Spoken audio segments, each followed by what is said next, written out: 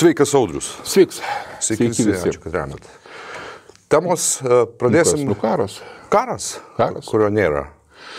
Nu, žinai, žiūrėk, jisai turėjo kilti trečiadienį, paskui Bidenas persigalvojo, paskelbė, kad karas bus penktadienį, mm. o vat dabar vat, aš kaip tik specialiai vat, minutės at- atgal ž- žiūrėjau savo Twitterio juostą, Blinkinas valstybės sekretorius sakė, kad karas jau, jau beveik, beveik ant slengščio. Ir šiaip visi laukia, kad jisai bus pirmadienį. Mhm. Aš net galvoju, pajokau, suprantate, davai padarom laidą rytoj, suprantate. A, jeigu jau puls. Ne, dėkui. Je- Jeigu iš tikrųjų puls, tai tikrai padarysim rytoj. Aš šiandien darydamas e, savo fieldworką, savo filmų ir laidai, kuri bus Mhm. pirmadienį arba antradienį, klausiau vieną ausimą Saloniną su Ilarionu. O, jie, jie užtekėjo. Šiandien ryte, jo. Labai, labai, čia bus įdomu. Bet žinok, neklausiau, nes negalėjau vienu metu daryti dviejų darbų. Tai e, pa, užsiseivinau, klausysiu prieš miegą. Bet e, pagrindinis leitmotyvas, kad jokio karo nebus abu kategoriškai dėl to. Matai, aš pakartosiu, ką aš kalbėjau praeitoje laidoje, suprantate, Mhm. ir, ir galbūt net už praeitoje minėjau, kad kartais karas e, kyla e, visiškai nenorintiem, kurie teoriškai turi teisę jį sukelti. Būtent. Yra žmonės ant žemės, kurie turi savo interesų, yra žmonės ant žemės, kurie daro savo klaidas, yra galiausiai, na, žmogiškasis faktorius, kurio tiesiog, nu, Būtent.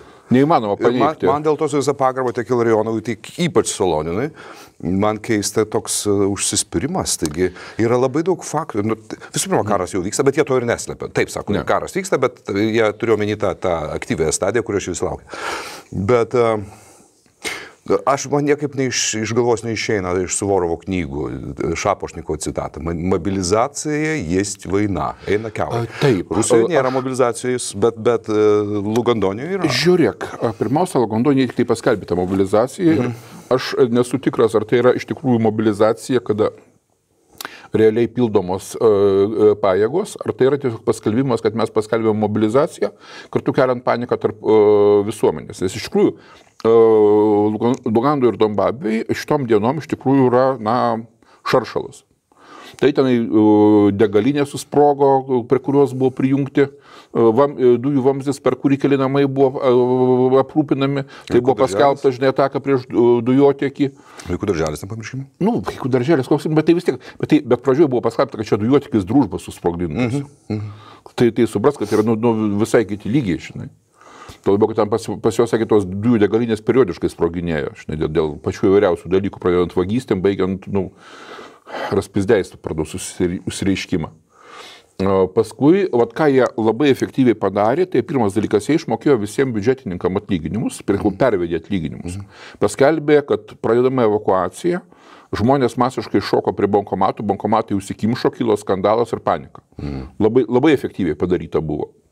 Paskui jie pradėjo tenai siūlyti, kad maždaug kiekvienam 10 tūkstančių beros rublių, o jeigu jūs greitai evakuositės į Rostovą, ten kažkaip daug e, norinčių neatsirado. Nes, nu, žinai, ten žmonės irgi jau pripratę prie karo.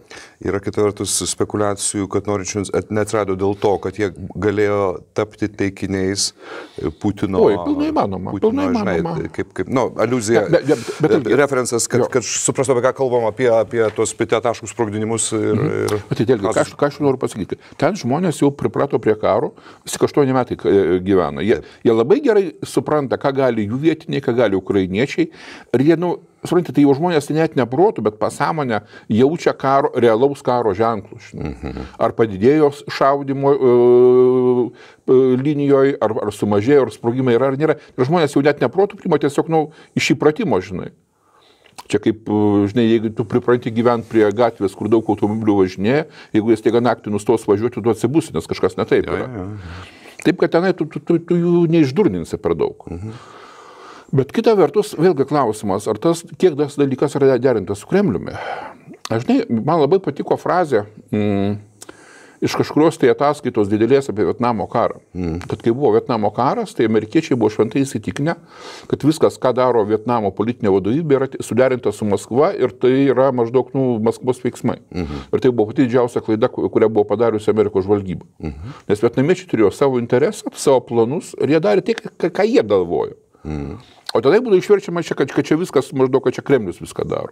Tai aš žinok, o, didelė dalim esu įstikinęs, kad nepaisant to, jog Donbapės vadovybė buvo smarkiai valyta nuo visų mm, tų natūralių lyderių, kuriuos vienus, vieni į Rusiją buvo priversti pabėgti, kitus tiesiog nužudė. Bet tenai jie vis tiek turi savo interesų. Mhm. Ir pavyzdžiui, kad jų interesas yra sukelti karą, aš niekiek to nebejoju.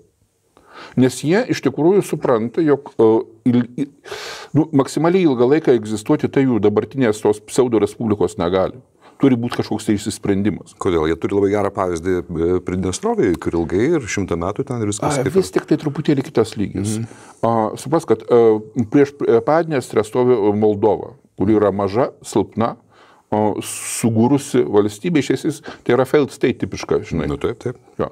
Tai ne Ukraina. Mhm. Pradė, Moldova net. Aš turiu minėti tai, kad toms kriminaliniams e, grupuotėms visai gerai toks status quo savo. Ne, tai teisingai, jom gerai yra, bet matai, bet uh, tie, kurie tubi Padnestrėje, žino, kad net jeigu ten nebūtų Rusijos kariuomenės, kurios, tai yra labai mažai, yra, mhm. šiaip. Jie atsimuštų. Jie puikiausiai atsimuštų, nes Moldova tiesiog nu, nieko negali padaryti. Taip, taip. Šitie Donbavija ir Lugandonijai puikiai žino, kad jeigu e, kitą dieną, kai nebus Rusijos paramos, ukrainiečiai tiesiog ateis, atvažiuos, žinai, ir, ir nedės. Tai esminis skirtumas, tas teisingai. Vadinasi, jiem mm. reikia sprendimo. Mm. Ir jie, su, jų supratimu, vienintelis sprendimas galimas būti, kad Rusija pilnai juos aneksuoja ir įjungia į Rusijos sudėtį. Tada viskas tvarkoja. O jeigu dar Rusija papildomai užkabina visą Donba, Donbasą, nes jie tą dalyką pasoviai pabrėžia, kad jie atstovauja visą Donbasą, kurio dalį yra okupavus Ukrainą. Mm. Tai būtų dar geriau. Ta prasme, jie turi interesą sukelti karą. Yeah.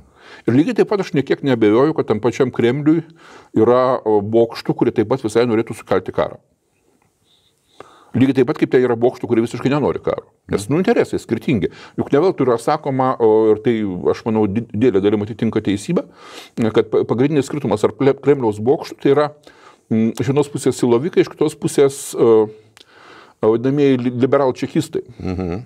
Liberal čekistai tai yra tie, kurie uh, babkės daro mhm. ir kuriem karo visiškai nereikia. Kaip teisingai, tai yra būtent tai yra tie, kurie, uh, kurių tėvai, seneliai buvo įvairūs ryškus bolševikai ir, ir tame tarpe NKVDistai, kurie, o kurie šiandien yra tapę liberalais. Mhm. Mes čia puikiai žinom, kad visų Rusijos liberalų tėvas Jegoras Gaidaras, tai buvo vieno kruviniausių e, čekistų vaikas. Nežinau, aš tave tokia. Tu nežinojai šito? Nežinau. O jie, tu ką tu? Okay.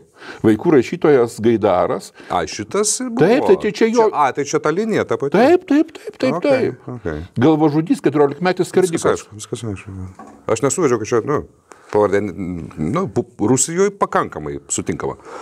Nepopuliari jo, jo. bet, bet sutinkama. Netgi Štagolas Amerikai Rusijos tarnybos vadovė Maša Gesin, taigi irgi iš Zampolitų ir, ir Politrūkų. Uh -huh. Jo, jo, jo, jos babutė buvo